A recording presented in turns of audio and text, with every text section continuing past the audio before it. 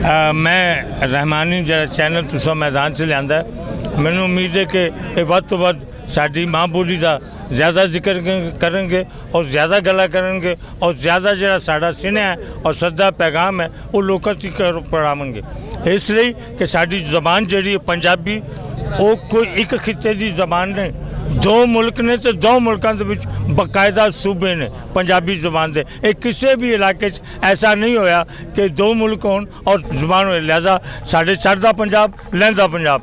ਇਹ ਦੋਨਾਂ ਮੁਲਕ ਬਲਕਿ ਹੁਣ ਮੈਂ ਤੇ ਕਹਾਂਗਾ ਤੀਜਾ ਪੰਜਾਬ ਵੀ ਜਿਹਨੂੰ ਅਸੀਂ ਕੈਨੇਡਾ ਕਹਿੰਦੇ ਉੱਥੇ ਵੀ ਪੰਜਾਬੀ ਬੋਲ ਰਹੇ। ਤੇ ਬਾਹਰ ਅੱਲਾ ਕਰੇ ਕਿ ਇੱਕ ਸ਼ੇਰ ਕਿ ਨਹੀਂ ਜੀ ਅੰਬਰ ਦਾ ਮੈਂ ਬੂਆ ਖੋਲ ਕੇ ਵੇਖਾਂਗਾ। ਅੰਬਰ ਦਾ ਮੈਂ ਬੂਆ ਖੋਲ ਕੇ ਵੇਖਾਂਗਾ।